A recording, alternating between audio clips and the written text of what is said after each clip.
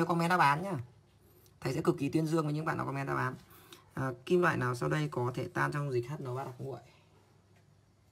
Kim loại nào sau đây có thể tan trong dịch hắt nấu ba đặc nguội? Nào các em có comment xem nào.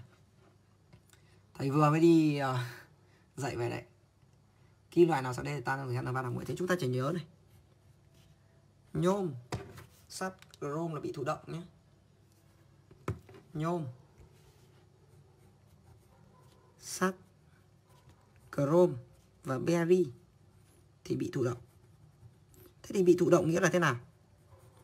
Bị thụ động tương đương với việc là nó không xảy ra phản ứng. Không thể xảy ra phản ứng. Được chưa? Vậy không xảy ra phản ứng thì tương đương với việc là nhôm không phản ứng này, là không thể tan này.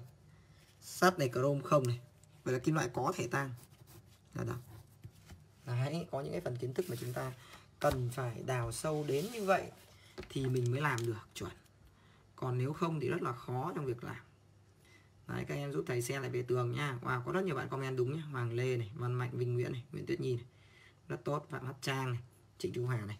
Các em nhớ này, các em nhớ lịch thi thử nhá. Là 20 giờ 30 thi thử ở trong nhóm. Trong nhóm nào em biết không? Trong nhóm mà bạn nào mà được nâu một thì được thưởng khóa livestream một khóa live. 30 đề. Của thầy trị giá là 600k đấy. Bạn nào muốn đăng ký thì có thể hoàn toàn inbox cho thầy và inbox cho các bạn. Đây này. À, bạn nào chưa vào nhóm nhé. Dành cho những bạn chưa vào nhóm. Thì em search cái nhóm này này. À, hóa học hóa học cùng thầy Minh Myelin nhé hóa học cùng thầy Minh Myelin này. ấn vào này. Đây đây nhóm này, này. Hóa học cùng thầy Minh Myelin này. Hóa học cùng thầy Minh Myelin. Hiện tại đang có 4.000 thành viên rồi. Đấy S vào. Và trong nhóm này xong rồi là các minh sẽ ép em vào. Sau đó là để em thi thử. Đây thi thử thì như tuần trước là có chị Huế này. Thi thử này. Thi thử bài An Giang này. Đấy các em nhìn chưa? Đấy các em chú ý nha thứ hai nữa là tất cả các cái đề thi của thầy á thì nó đều được up lại lên trên YouTube bằng channel của thầy. Thì em chú ý thì có thể vào cái channel của thầy. Channel của thầy em đánh Minh Merlin Minh Merlin những bạn nào chưa thì đánh luôn đi nhá. Minh Merlin này. Đây. Đấy, em ấn Minh Merlin kích vào đây phát ra channel của thầy. Đấy, thì trên này có rất nhiều đề. Sở An Giang tuần trước này. Chuyên Trần Phú này. Tổng ôn carbon này. Chuyên học Huế có tất cả. Đây, thầy đã quay lại hết rồi. Thì em chỉ cần ấn vào thôi là học được. Chuyên khoa học Huế này. Kim Liên này. Bắc Giang này. Được chưa? Đấy thì các em chú ý nha. Nhớ rằng là bạn nào mà thi thử được giải nhất thì được khỏa thưởng. Ok thôi mình bắt đầu nhá. Mình uh, tiếp tục cái buổi livestream ngày hôm nay.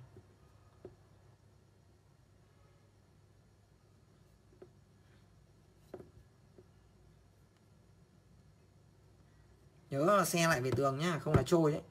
Khả năng cao với cái đề thi thử sở Hà Nội này khả năng cao nếu mà các em không xe là tí nữa là thầy uh, uh, xóa lại. À thầy ẩn lại hẳn đi. Giờ để cho tránh cái việc mà ờ, nào câu số 2 cho chất sau chất có nhiệt độ sôi thấp nhất. Chất có nhiệt độ sôi thấp nhất. Đấy các em cùng comment đáp án xem nào.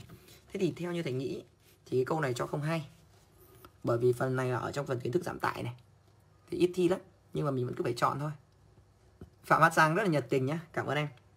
Wow, chấm một comment rất điên đảo. 2C đúng chính xác. 2C đấy Trang Rất tốt. 2 đáp án chúng ta đáp án C. Câu số 3 Chất nào sau đây vừa tác dụng dung dịch HCl Vừa tác dụng dung dịch NaOH.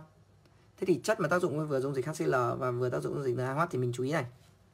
Thằng HCl không phản ứng với CuCl2 đâu nhé Được chưa? Thằng HCl cũng không phản ứng với KNO3 HCl cũng không phản ứng với Al2S4 3 lần. HCl tác dụng với ALOH 3 lần. HCl cũng tác dụng NaOH cũng tác dụng ALOH 3 lần. Thế em nhìn trong thầy viết phương trình này. cái chỗ này các em cần phải nắm được phương trình. Thì mình có là HCl này ăn với lại ALOH 3 lần thì nó tạo thành là AlCl3 nhé cộng với là H2O này.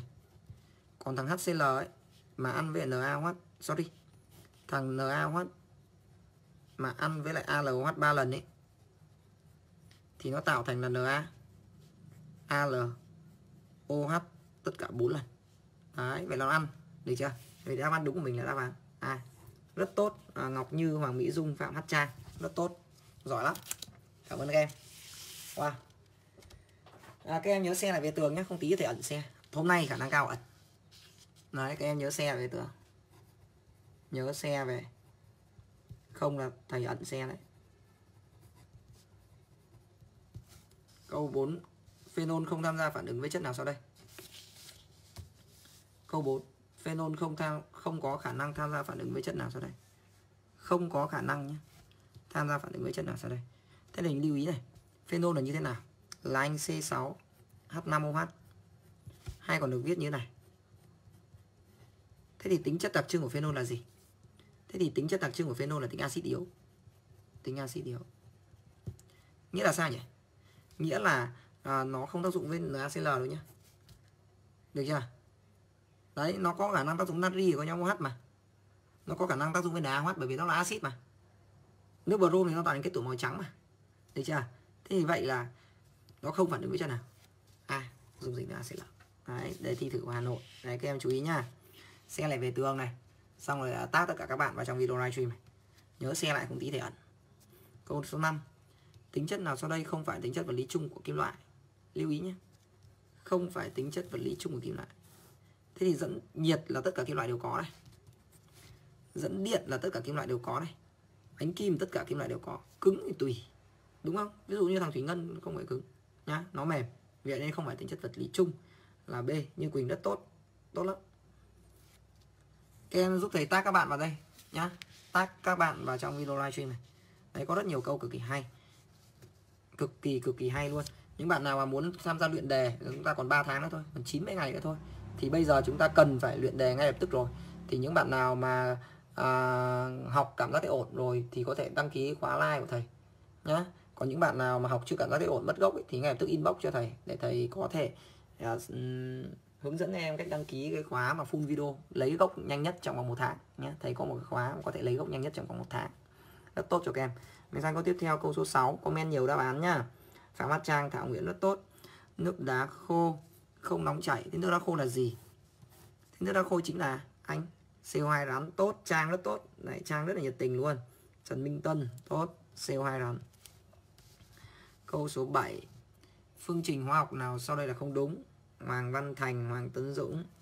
67 phương trình hóa học nào sau đây là không đúng? Đấy. Phương trình hóa học nào sau đây là không đúng? Các em thử comment cho thầy xem là phương trình nào không đúng. Cái chỗ này nó liên quan đến kiến thức SI2 là kiến thức của lớp 11 lớp 11 thì các em chú ý là như bộ nói như bộ nói thì là 90% là 12 có 10% là 10 cộng 11 thôi thì nó sẽ thi vào những cái phần mà đặc trưng nhất. Thế bởi vì là nó sẽ thi vào những phần đặc trưng nhất thế nên là chúng ta cũng phải cố gắng. Đã không chẳng biết là phần nào đặc trưng nhất cả nhưng mà thầy nghĩ rằng là à, các em khi học thầy thì thầy sẽ biết được những phần nào trọng tâm để mà thầy giúp đỡ cho các em tiết kiệm thời gian ngắn nhất để các em có thể học. Thế thì mình có này SU2 cộng carbon ấy thì tạo thành Si cộng với CO2 thì thằng này đúng.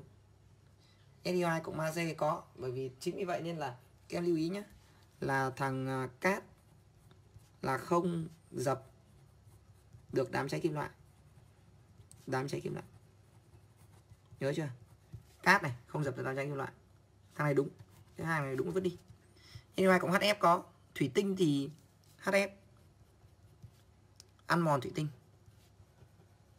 Cái này các em phải nhớ nhé cái này là kiến thức lớp 10 lớp 11 khá quan trọng chỉ có SiO2 là không tác dụng HCl HCl không ăn được SiO2 đáp án đúng, đáp án B. Rất tốt, Trịnh Thị Thu Hà, Phạm Hắc Trang. Rất rất tốt luôn.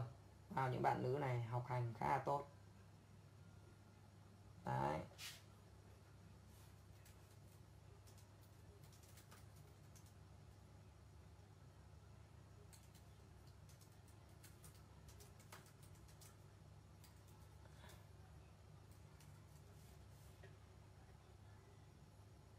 Ok, tiếp tục nhé, mình sang à, tiếp tục câu uh, tiếp theo.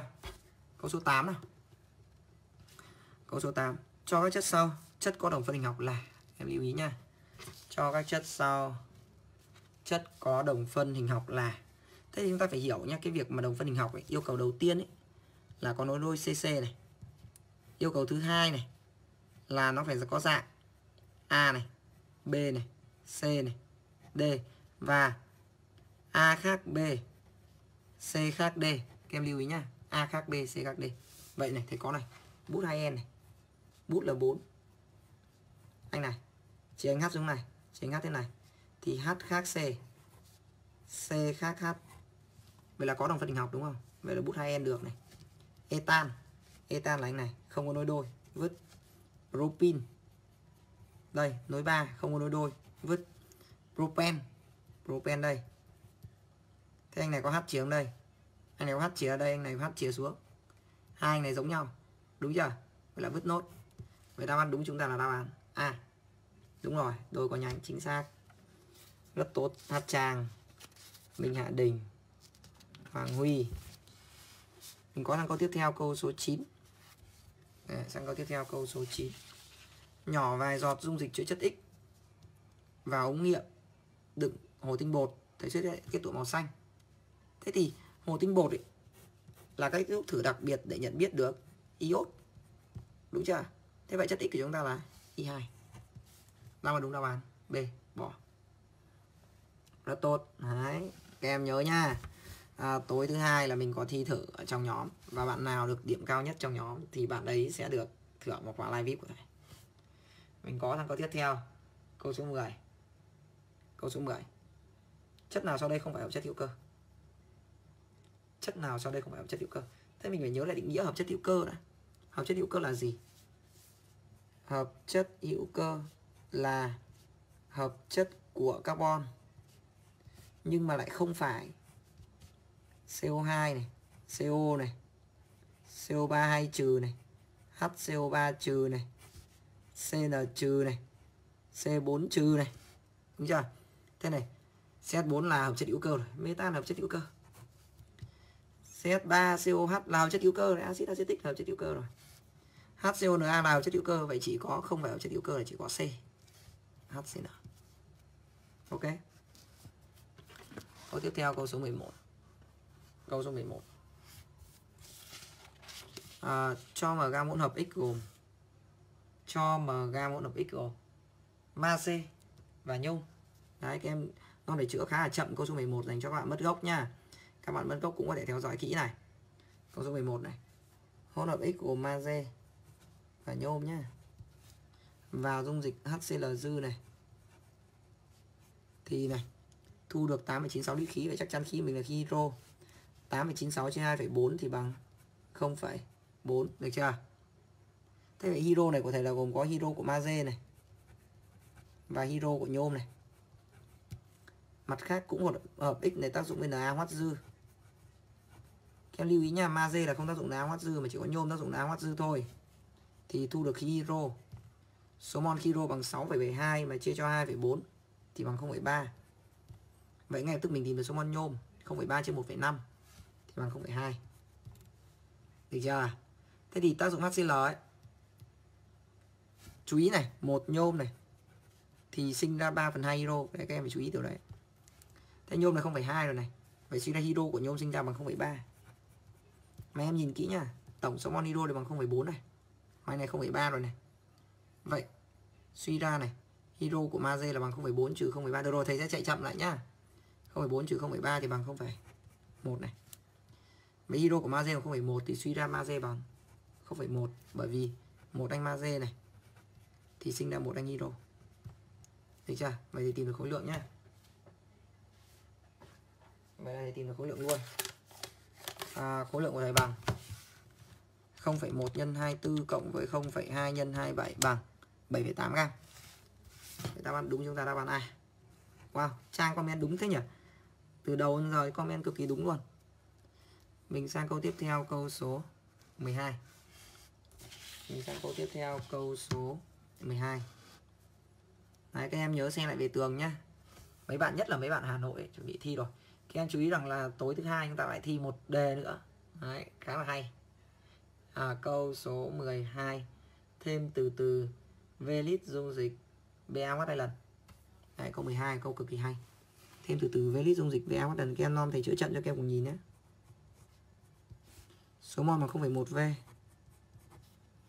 và HNO3 1 nhân 0,12 cô cạn dung dịch sau phản ứng làm khô thu được 13,37 gam chất đạn khan giá trị của V.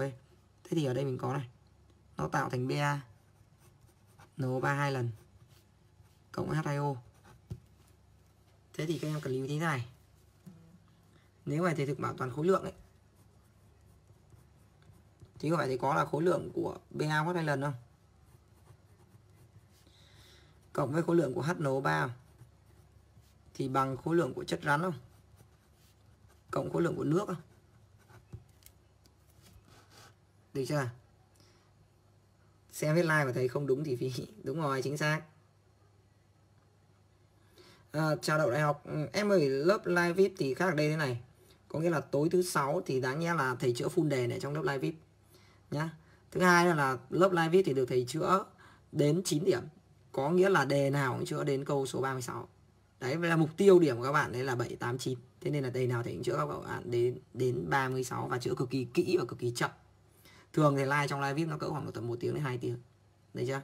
Còn lại live bên ngoài này thì là thầy chỉ cho là thầy chữa uh, từ câu 1 đến câu 28 thôi nhá. Để dành cho bạn được 7 điểm thôi. À, vậy thầy có này anh này này phân tử khối của nó này. 137 cộng với 17 nhân 2 bằng 171 171 nhân với 0,1V cộng với 62 nhân 0,12 khối lượng chất rắn biết rồi 13,17,37 gam cộng m nước bằng 18 nhân với số mol nước. Vậy bây giờ muốn tìm được V á thì mình tìm số mol nước là xong gì đúng chưa? V thì mình tìm số mol nước là xong gì bây giờ thì có này. Nước ấy, thì có phải là chính bằng? Thầy ghi em này. Nó phải chính bằng H cộng. Cộng H trừ không? Thì ra nước không thế đây thì có này số mol cộng chính là số mol N3 số mol trừ bằng hai lần số mol của BH này lần 0,1V nhân 2 bằng 0,2V vậy nước này có hai khả năng hoặc bằng 0,12 hoặc bằng 0,2V đúng chưa? Giờ thầy thử nhá trường hợp thứ nhất nước bằng 0,12 số mol nước bằng 0,12 thì thầy có này 17,1V này cộng với lại 62 nhân 0,12 bằng 7,44 này thì bằng 17,37 cộng 18 nhân 0,12 ta có này 17,37 cộng 18 nhân 0,12 trừ đi 7,44 bằng chia cho 17,1 0,707 À thế là bằng 700ml đúng không? Vậy đáp án đúng chúng ta là đáp án A. À chưa được đâu bình tĩnh. V bằng 0,7 Thế với V bằng 0,7 nhá Mà ở đây là đang tính theo thằng 0,12 tính theo H cộng Mình thử test thử xem này. Với V bằng 0,7 thì số mol H trừ bằng bao nhiêu? 0,7 này Nhân với lại 0,1 Nhân với lại 2 bằng 0,14 Lớn hơn 0,12 mà chỗ này tính nước theo 0,12 mà Thì nó phải nhỏ hơn đúng không?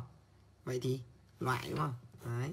Chào Trần Hưng à, Cách để xem live VIP à, của thầy đó là em à, đăng ký trực tiếp với thầy hoặc cô Ngọc Anh nhá. Đăng ký trực tiếp học phí khóa live VIP là 600 nghìn. Sau khi em đăng ký xong thì em được add vào một cái nhóm gọi là nhóm uh, live VIP của thầy. Ở đó thì thầy sẽ like trong nhóm. Thầy chữa cho các em. Được chưa? Thế thì bây giờ thầy có cái trường hợp số 2 nhá. Trường hợp số 2 là số mol nước bằng 0,2V Chắc chắn đúng rồi. Thì thầy sẽ được này 17,1V cộng 7,44 thì bằng 17,37 cộng 18 nhân với 0,2V. Vậy đây thì được này.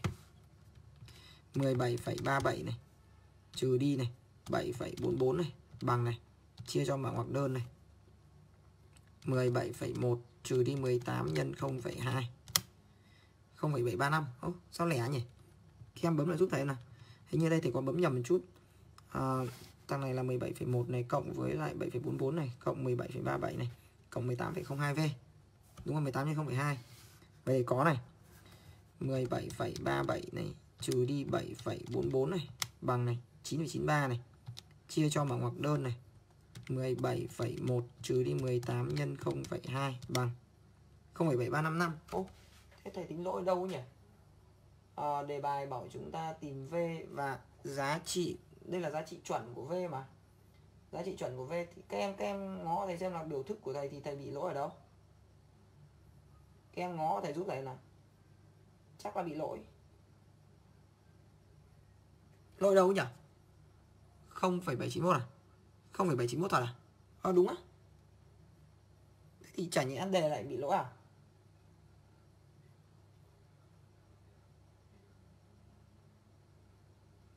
À Đúng rồi Thế thì khả năng cao. Thế thì khả năng cao lấy là bằng 0,7 à? Đây ở bên trên này. Thế thì để ra lỗi các em ạ. Ừ BA hóa là lần dư Chính xác chất rắn Thế tính theo H cộng 0,12 Ngước bằng 0,12 Thế khả năng cao để lỗi rồi. H nấu 3 là 63 À ừ đúng chính xác. Ờ à, rồi rồi rồi ok. HNO3 63 đúng đúng đúng. 63 nhân 0,12 7,56 7,56 thank you. 7,56 À rồi ok thank you. Thế là thầy ấn nhầm ấy. 17,1 này. 17,37 trừ đi 7,56 17,37 trừ đi 7,56 bằng chia cho mở ngoặc đơn. 17,1 trừ đi 18 nhân 0,2 bằng. 0,7266 HNO ba sai Oh thank you. Thank you. Thank you. Thank you cả nhà. Được chưa? Thế thì ở cái trường hợp này thì uh, um, chỗ này thì ta phải tính theo là trường hợp đúng nhất của chúng ta nó là trường hợp cái này là ra V bằng 7266 nhé thế là trường hợp này loại. Thế người ta bán đúng chúng ta là V bằng 0,7 à? Trường hợp số 1 à? đúng không? Trường hợp số 1 thì hình như là BA có này lần dư à? Đúng không? Đi xem nào. À, xem đúng nhá 17,1 này. 17,37 17,37 trừ đi. 7,56 bằng. Chia cho mở ngoặc đơn là 17,1 À nó từ từ. Đây đây. Biểu thức này. 17,37 cộng 18 nhân 0,12 bằng trừ 7,56 bằng. Chia 17,1 bằng. 0,7 đúng rồi. Người ta bán đúng chúng ta đáp án À. Sorry. Ừ thầy tính hơi bị nhầm nhầm nhầm nhọ chút. Câu 13 phát biểu nào sau đây không đúng nhá? Các em cùng comment đáp án. Thank you Phạm Hát Trang Có đôi chút nhầm lẫn ở đây. Câu số 13 à, Nhận định nào sau đây là không đúng? Nhận định nào sau đây là không đúng? À. Sắp tới là chúng ta có rất nhiều cuộc thi Các em sẽ bị thi thử khá nhiều.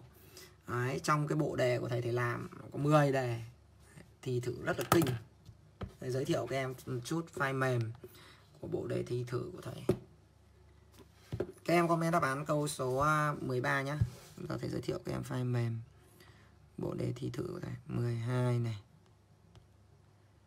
Thi thử này. Thầy mới soạn xong đấy vẫn còn đang một chút nữa, thầy sẽ in thành sách, sẽ bán cho các bạn ở xa, sẽ bán cho các bạn ở gần. Nhưng mà ừ, chủ yếu phục vụ lớp off và khóa livestream thầy những bạn nào mà lớp off và khóa livestream sẽ có ngay. Đây. Rất nhiều đề. Giảm tải này. Thăng long này. Các em nhìn này. Đề số 1 này. Đề minh họa này. Ở trong này đúng tất cả đề minh họa này. Đề thi thử thăng long này. Đề thi thử chuyên vinh này. Đề bắc giang, đề dự đoán rất rất rất nhiều. Đề các năm. Thầy sẽ có ở trong cái bộ đề sắp tới. Đang làm các em ạ. Đang thức khuya làm cho các em câu 13 tính dẫn điện kim loại bạc tốt hơn đồng cái này đúng đúng không? Kim loại kiềm nhóm 1A đều cấu trúc mạng tinh thể lập phương tâm khối. Tâm khối câu này đề bài nó hỏi là nhận định gì? Đề bài hỏi chúng ta là nhận định gì? Không đúng. Lập phương tâm khối đúng nhỉ? À, từ phốt pho và HN3 đặc nóng điều chế được ừ, ba um, đúng đúng không? Có thể dùng CO để làm khô HCl nước cái này sai. CO làm sao à, mà có thể hấp thụ được ừ, CO làm sao hấp thụ được hơi nước được đúng không? Đấy, chắc chắn sai rồi. Nguyễn Hồng hỏi gì em nhỉ? Tiếp tục nhá. Vậy sai ra bán dê. Câu 14 thank you. Thank you các bạn đã tìm được lỗi sai giúp thầy. Câu 14 à, có lớp vip thì chắc chắn có luôn. Mở lớp vip thì chắc chắn có live vip thì đã gọi là live vip thì tương đương với offline rồi. Live vip là được sống sướng sung sướng như offline luôn. Lớp off luyện đề thì bắt đầu vào ngày uh, uh, 28 tháng 3 nhé. Lớp off luyện đề bắt đầu ngày 28 tháng 3 tất cả các lớp off của thầy trên mọi hệ thống. Câu 14 này. Cho m ga hỗn hợp x gồm CuO này. Fe2O3 này. FeO này tác dụng vừa đủ với dung dịch chứa H2S4 này. Lưu ý đây để bài cho đủ này. Ui đề của sở Hà Nội cũng chất phết nhỉ? 1 nhân 0,1 và HCl 1 nhân 0,1 đấy thể tích là điều kiện tiêu chuẩn. Thế thì đây là tác dụng vừa đủ. Thì các em hiểu bản chất này. Bản chất thì mình làm nhanh nhé. Bản chất thì thế này. Oxy trong oxit ăn 2H cộng để tạo thành H2O được chưa? Lớp VIP là phải photo à lớp VIP là phải là được tặng file PDF ạ. Nghĩa bảo tiền nhá. Lớp VIP là được tặng file PDF chuẩn nét luôn. Oxy trong oxit cộng 2 cộng để tạo thành H2O nhá. Thế vậy mình tìm được số mol H cộng này. Bằng 2 lần số mol H24 này 0,1 nhân 2 bằng 0,2 cộng 0,1 bằng 0,3 vậy thì tìm được số mol oxy trong oxit bằng 0,3 nhân 1 chia 2 thì bằng 0,15 nhé thì đây là phản ứng này. Thế thì hỗn hợp CO và hydro tối thiểu cần dùng để khử hoàn toàn mg hỗn hợp X. Thế thì đây là lại khử bọn này thì cần dùng CO và hydro. Thì em lưu ý bản chất tiếp. Là số mol của oxy trong oxit phản ứng thì chính bằng số mol CO cộng hydro phản ứng. Mình vừa tìm được nó bằng 0,15. Vậy này 0,15. 0,15 mà nhân với 2,4 thì bằng 3,36 lít. Đáp án đúng đáp án A Ok. Đang tiếp tục câu tiếp theo, câu số 15. Đấy đến một nửa chặng đường rồi các em nhá. Đấy, các em nhanh tay xe lại về tường không tắt tất cả các bạn các em vào đây. Thầy vẫn nhớ Kimiko Hoshi nhá. Trốn học nhiều quá. Câu 15. Dung dịch nào sau đây có khả năng làm nhạt màu dung dịch KMNO4 trong môi trường H24? Thế mình lưu ý này. KMNO4 của mình là anh này là MN dương 7 về tính oxy mạnh. Thế thì, làm nhạt màu, thì tương đương mình tìm thằng con tính khử. Đây khả năng cao là Fe2 43 lần. Anh này dương 3 hết khử rồi. Đồng dương 2 hết khử rồi. Sắt dương 3 hết khử rồi. Vậy chỉ còn sắt dương 2 còn tính khử thôi. Vậy đáp án đúng của mình là đáp án C. ok em ơi. Đuối thế á? 16 này. Comment đáp án nhanh và mạnh mẽ thầy xem nào. Eo, từ nãy giờ, bao nhiêu bạn nam chỉ để thua các bạn Phạm Hát Trang. À? Bạn Phạm Hát Trang hơi bị sinh. Mà không bạn nam là cân được. Đuối thế. Comment mạnh mẽ đáp án đây này, bạn à, Trang, bạn đang là 15C từ nãy giờ mà chưa bạn nào cân lại được bạn Trang này. Cân tim rồi các em. Hay cứ nhìn thấy gơn sinh comment là trai nhà thầy là chạy hết rồi. Nào mình có nào. Câu số 16. Câu số 16 đáp án gì? Câu số 16 Đáp án gì nhỉ? 16 nào cả nhà? À, số phát biểu đúng là để một miếng gang hợp kim sắt carbon ngoài không khí ẩm sẽ ăn mòn điện hóa ăn mòn điện hóa nhé chúng ta yêu ký ăn mòn điện hóa này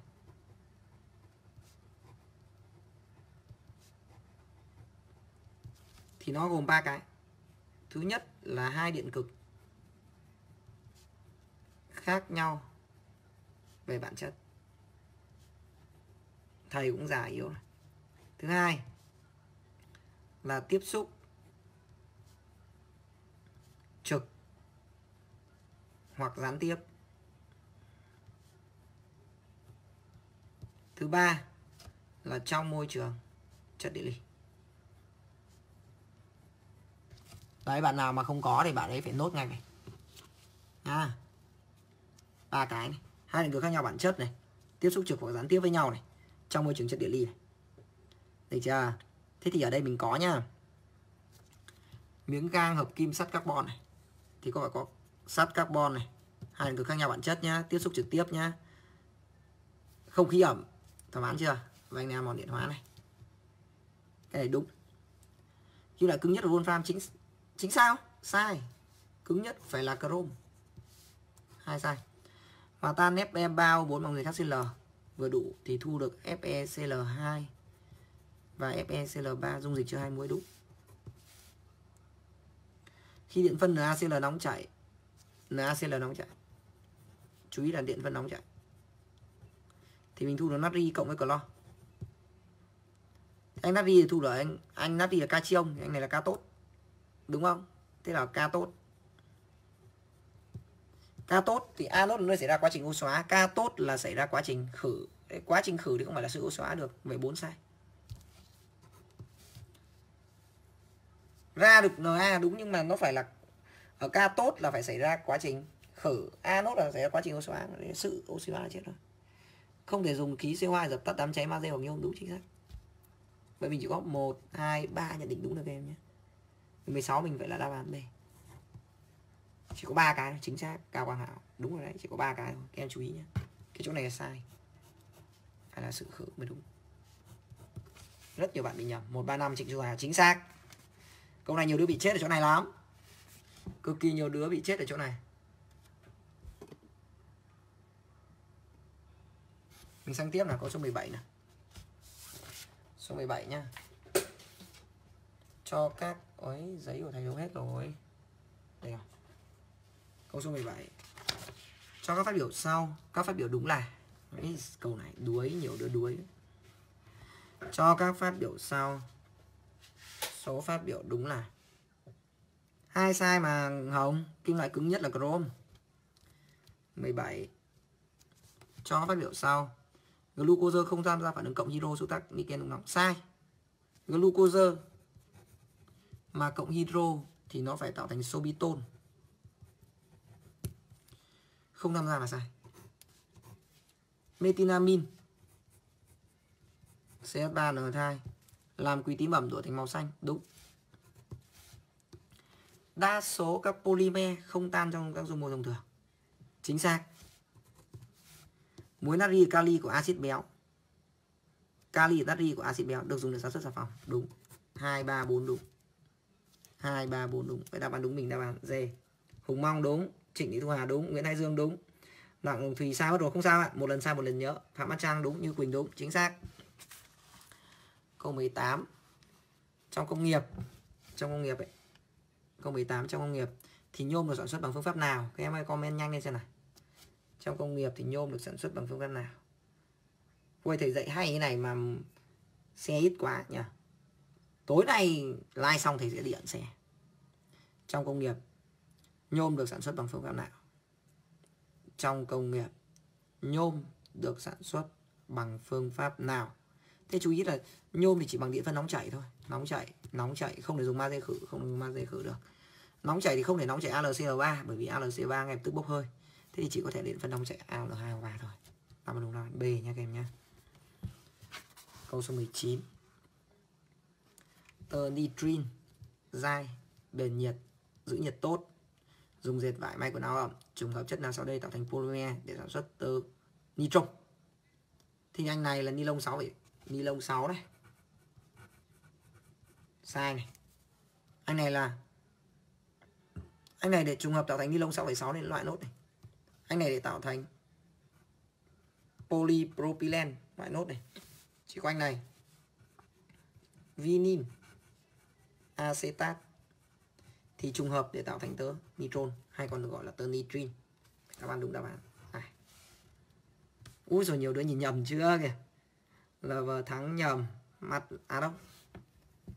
Thầy thang, câu 19 rồi thì thầy đi đọc các câu bạn. Nào, các em cùng comment đáp án cho thầy câu 20 này. tiến hành thí nghiệm với cả chất hữu cơ X, Y, Z, T đều trong dịch kết quả ghi bảng sau 20 nhá. Tiến hành thí nghiệm với các chất trong dịch XYZT thí nghiệm thì ghi được ở bảng sau. Các chất XYZT có thể lần lượt là. Mình lưu ý này. Nước brom cái tuổi trắng chất X để mình nhìn phenol được aniline được phenol được. Glycerol không tác dụng nước brom nên loại gì à, Y Z tác dụng với COH hai lần. Dung dịch màu xanh lam. Glucose glucose xác đều dung dịch xanh lam hết. Z. Gly gly lòng trắng trứng không cho dung dịch màu xanh lam. Loại tiếp. Y và T AgNO3 trong NH3 đun nóng, tạo kết tủa trắng bạc. Cái T xem nào, T phải tạo thành kết tủa trắng bạc T thằng cuối cùng. Etin acetat không CH3 COO C2H5 là không. Etin format là HCOO CH5 có đầu HCO có trắng bạc. Cái đáp án đúng mình đáp án B, bỏ. B các em nhá. Đáp án đúng, đáp án B nhá. 20B chính xác, Phạm Trịnh Thu Hà, Phạm Hát Trang, Nguyễn Hồng, chính xác. 21 phát biểu nào sau đây đúng? Trong phân tử peptide mạch hở chứa N gốc alpha amino acid, cái này đến đây đúng này. Chứa một nhóm N2 một nhóm CH đúng này. Có N trừ một liên kết peptide, đúng. N gốc thì N trừ một. Trong phân tử các alpha amino acid chỉ có một nhóm amino sai lysine, thì có hai nhóm N2 tất cả các peptide thì đều ít tan trong nước, chưa chắc, đúng không? Tất cả dung dịch amino acid đều không làm đổi bằng quỳ tím sai. Vậy thì trong phân tử peptide mạch thở chứa n gốc là chính xác nhất tốt nguyễn hàng đen hùng mong trịnh thị thu hà hoàn toàn chính xác rất tốt. Tao đúng đáp án này. Các em ơi các em nào mà muốn đăng ký khóa live stream nhá. Livestream thầy chữa full 30 đề thì ngay lập tức inbox cho thầy sau buổi live ngày hôm nay nhá. Những bạn nào mà bị mất gốc ấy mà vẫn cố tình xem được cái này ấy, thì cũng có thể inbox cho thầy để thầy có thể à, hướng dẫn các em đăng ký khóa full video thầy giúp các em lấy gốc lại nhanh nhất. Được chưa? Mình sang tiếp câu câu 22 số chất tác dụng dịch NaOH ở nhiệt độ thường nhé. Chú ý ở nhiệt độ thường này. NaOH nhưng mà lại phải ở nhiệt độ thường. Thế mình có này NaCO3 là một. CO không đâu. AL23 hydroxit lưỡng tính có MeH3 lần không. CO2 có đúng không? NH4Cl có vậy thì có 1 2 3 4 vậy đáp án đúng, mình là đáp án. D ra câu tiếp theo, câu số 23 cho kim loại sắt vào lượng dư dung dịch chứa chất X. Sau khi kết thúc phản ứng, thu được sản đầy chất X, mà lại dư nhá. Muối sắt 2 H2 muốn đặc nóng thì không thể được, bởi vì là ra muối sắt 2 đặc nóng lên sắt 3 mất rồi loại HN3 chắc chắn lên muối sắt 3 loại tiếp. Live vip tối nay có live mà, tí nữa thầy live rồi. Thầy chữa xong câu 28 ở đây là thầy vào live với live vip luôn. Sắp hết rồi đây đang câu 23 rồi. Live vip này chữa full FeCl3 thì ta có là sắt cộng với lại sắt 3 thì tạo thành sắt 2 em nhớ phương trình nhé. Fe cộng Fe dương 3 để tạo thành Fe dương 2 được chưa? Magie thì không tác dụng rồi. Vậy đáp án đúng mình đáp án. C dễ chưa? Câu 24 isoamin acetat là một ester mùi chuối chín, công thức cấu tạo của này, thế để viết này. Acetat là CH3 COO này. isoamin tổng có 5 carbon. Đây, một nhóm iso đây. 1 2 3 4 5 đấy, được chưa? Thế vậy này. Nó là CH3CO nên là loại thành CH5CO này. CH3CO CH3 loại nốt này. Nhìn nó dễ này. CH3CO này. 1 2 3 3 carbon loại nốt. Vậy chỉ có thể là đáp án đúng là đáp án A đó các em nhỉ? Đấy, câu này dễ thôi nhưng nhiều bạn bị nhầm các bạn đừng quên cái gốc isoamin này. câu 25 nhá. Dung dịch chất nào sau đây không làm đổi màu quỳ tím hoa đỏ? Không làm đổi màu quỳ tím hoa đỏ. Thế thì anh nhóm COH là làm quỳ tím hoa đỏ nhé nên loại A này. Hai nhóm COH đều làm quỳ tím hoa đỏ này. Loại C này. Không làm quỳ mà. Nhóm COH có một nhóm thôi. Loại B. Ở đây mình nhìn thấy nhóm COH bằng nhóm NH2 nên không thể làm quỳ hoa đỏ được. Vậy đáp án đúng mình, đáp án D rất tốt Nguyễn Thái Dương rất tốt hàng đen. Câu 26 Đấy, chúng ta chỉ còn có 26 27 28 là là kết thúc cái buổi live ngoài tường ngày hôm nay của thầy với các em rồi. Sau đó thì các em chú ý rằng là các bạn thuộc nhóm live vip thì vào trong nhóm live thì thầy bắt đầu thầy live tiếp nha. Có này câu 26 cho các chất sau. Số chất nó trên tác dụng với nước brom điều kiện thường. Chú ý là để tác dụng nước brom điều kiện thường nhé. Thì cần điều kiện này. Nối đôi cc này. Nối 3 cc này nhóm chó này. Được chưa? Đấy, thì mình có này. Hoặc là anilin này. Hoặc là phenol này. Ethylene này. C đối đôi c. Ok, một cháu hexan. Hexan là anh này này. 1 2 3 4 5 6 anh này không nhé làm gì có nối đôi? Lại hép một in. 1 2 3 4 5 6 đây, có nối đôi có. Anin thầy vừa ghi xong. Có cái tủ màu trắng. Cumen cumen anh này. Không có nối đôi. Loại bút một in. Bút một in. Có nối ba. Được. Benzen. Không tác dụng với brom điều kiện thường đâu nhá. Loại styren em nhìn nối đôi chưa? Metin met acrylas mes ô metin. Có nối đôi. Có. Vậy, đáp án đúng của chúng ta là có 1 2 3 4 5 6 anh nhá. Được chưa? 26 y dệt. Wow. Các bạn trang comment đúng từ đầu đến giờ ấy nhỉ? Dễ sợ thật. Tùng Tùng ơi, nhầm mất rồi em. Kiểm tra xem em nhầm đâu nhá. Nguyễn Hiền rất tốt. Câu 27 Câu 27 Thầy chữa nốt câu 27 và câu 28 Sau đó thầy sẽ bơi vào trong nhóm live VIP Để mà live với các bạn nốt cho câu còn lại nhá Những bạn nào mà muốn ờ, được theo dõi thầy chữa full 30 câu Thì nhớ đăng ký nhóm live VIP Inbox cho thầy hoặc cho cô Ngọc Anh để Jax à, ờ, Câu số 27 Hợp chất hữu cơ có công thức phân tử C8H15O4N Khó phết. Khi cho ít tác dụng là H đun nóng thu được các sản phẩm gồm chất A à đây là thủy phân đây là ST2 trước này thì ra là được CH6O và CH4O này. Vậy mình sẽ có là COO này C2H5 này. Đúng chưa? Và đầu này là CH4 là là là là CH3 này. C CH4 là, là CH3 này. OOC này. đấy. Nối. Thế tổng đây là 8 trừ đi 1 2 3 4 rồi 5 rồi. Vậy còn 3 carbon thôi đúng chưa? Vậy thì có thể 1 2 3 nhóm N2 cắm đây.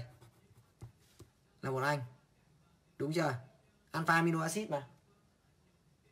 Được chưa? Các em nhìn thấy chưa? Hoặc là gì? Đây. CH3 này. OOC này. 2 3 này. COO này. C2 H5 hoặc nhóm là hai cắm đây đúng chưa thế liệu có nhánh được không nhỉ? Liệu có nhánh được không nhỉ? Các em nhìn nhá. Đun nóng là sản phẩm này. Y là muối natri của alpha amino chất Z có cấu tạo mạch hở, mạch carbon không phân nhánh. Đây mạch carbon không phân nhánh. Vậy chỉ có hai thôi. Ta mới đúng đáp án. B bỏ. Chỉ có hai chất. Dễ không? Dễ ợt đúng không? Mình sang câu tiếp theo, câu số 27 câu số 27 xong rồi mình sang câu số 28 à, cracking khí butan một thời gian. Khó phết nhỉ? Cracking khí butan là C4H10 một thời gian thì thu được hỗn hợp khí gồm CH4 này C3H6 này CH6 này CH4 này và C4H10 dư này. Cho toàn bộ này đi qua brom dư này thì nó giữ lại bọn. C3H6 này. C2H4 này. Khối lượng bình tăng lên 0,91 gram này. Thì khối lượng bọn này vào 0,91 4 gram brom phản ứng. Ăn với lại brom phản ứng là 4 chia 160 0,025 thế vậy ngay lập tức này. Thế đọc được luôn đọc luôn anh này là a thì anh này b. Và thì có hệ phương trình luôn anh em một brom này. A anh này một brom này. không vậy không. 25 thì có phương trình khối lượng. 12 nhân 3 là 36 36 6 bằng 42 a cộng 28 b thì bằng 0,95 đến đây thì tìm hệ luôn. 1 bằng 1 bằng 0,0 bằng 42 bằng 28 bằng 0,95 bằng. Ơ sao lẻ nhỉ? 0,9 0,91 thể ghi 0,95 này mắt lé quá. Mặt lé quá các em ạ. 0,015 và 0,01 cho toàn bộ hỗn hợp X đi qua bình đựng nước brom dư rồi. Đồng thời hỗn hợp khí Y thoát ra là gồm CH4 này C2H6 này C4H10 này. Thể tích của Y thì bằng 54,545% thể tích của X. Thế thì là 54,545% thể tích của X vậy Y này. Thể tích của X đây. Là 0,015 cộng 0,1 cộng với lại 0,01 bằng 0,025 thế thì số mol hàng này bằng 54,545 vậy anh này chia cho 0,54 545 bằng bằng thể tích của y là thế phải nhân 0,025 nhân với 0,54545 bằng 0,0136 Để đốt cháy hoàn toàn hỗn hợp Y thì cần dùng V lít oxy. Giá trị của V. Khó đấy nhờ. Nghe vẻ khó. 0,545 mà. À, ờ, thể tích của Y à thể đọc nhầm ấy. thể tích của Y bằng 54,545 thể tích của X. Thể tích của Y bằng 0,545 thể tích x. Đây là x đây này, x x đây này, hỗn hợp x đây này. Thể tính nhầm. Đúng chưa? Vậy ta có này, ni chia cho nx thì bằng 0, 54 545. Thì ni chia cho nx thì có phải bằng ni cộng với lại 0, 025 không? bằng 0,54545 không? Đến đây các em tìm được NI bằng bao nhiêu? Bấm máy tính giúp thầy với. Xem nào. 0,54545 nhân 0,025 bằng chia cho mẫu đơn 1 trừ đi 0,54545 bằng 0,029 0,029 bằng 0,03 Vậy NI bằng 0,03 Đề bài bằng y đốc vừa đủ V lít oxy, giá trị của V khó phết nhỉ. Thế mình lưu ý thế này. Mình ghi một điểm này. Đó là thứ nhất đây là bài toán cracking thì mình luôn có là số mol cũng khó khó nói như nào. À, thế ở đây thì có này NI bằng 0,03 nhé. NI bằng 0,03 thế thì mình viết công trình này mình thấy này. C4H10 nhá. Mà cracking ấy thì nó tạo thành CH4 này cộng với lại ờ, uh, C36 này. Thế mình vừa tìm được CH36 bằng 0,015 thì thì ngược lại CH4 bằng 0,015 tương tự thì có là C4H10 mà cracking thì mình thu được C2H4 đây thì lấy C2H4 đây. Cộng với lại C26 đúng không? C24 bằng 0,01 thì suy ra C26 bằng 0,01 mà này bằng 0,03 đúng không? Trừ 0,015 trừ 0,01 bằng 0,005 Đúng chưa? Giờ đốt cháy oxy cần phải đủ với lít oxy thì nó tạo thành CO2 này. Nó tạo thành CO2 này và nước này và toàn carbon này, 0,015 này. 0,015 nhân 1 cộng 0,01 nhân 2 cộng 0,005 nhân 4 bằng 0,0 0,055 Bảo toàn hydro 0,015 nhân 4 cộng 0,01 nhân 6 cộng 0,005 nhân 10 bằng. Chia 2 bằng 0,085 Đến đây thì bảo toàn nguyên tử nguyên tố oxy là xong. 0,055 nhân 2 cộng với 0,085 bằng. Chia cho 2 bằng. 0,0975 mà nhân với lại 2,4 thì bằng 2,184 vậy đáp án đúng của mình là đáp án A. Được chưa cả nhà? Ok rất tốt. À, buổi live hôm nay dành cho team Hà Nội. Thầy uh, xin phép được tạm dừng tại đây. Các em có thể theo dõi full video ở trên channel youtube của thầy và chào tạm biệt và hẹn gặp lại các em vào hôm tối thứ hai một đề khá là chất và khá là hay. Nhớ rằng tối thứ hai những bạn nào tham gia, nếu được nâu một thì sẽ được thưởng full khóa live stream trị giá 600 nghìn của thầy. Còn bây giờ, chào tạm biệt các em. Bây giờ thầy vào, thầy live với khóa live vip đây. Bye bye!